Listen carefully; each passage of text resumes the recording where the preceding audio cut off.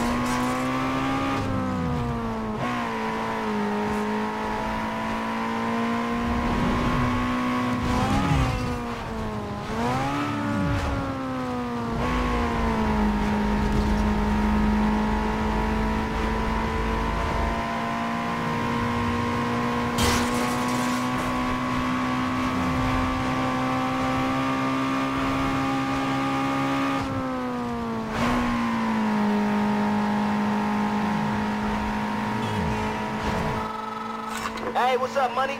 Yo, I got some action for you. Nah, I haven't really pinpoint the place, man, but it's somewhere in the Beacon Hill area. Crew tells me some easy pickings. Y'all give you a shout if I hear any more. Peace.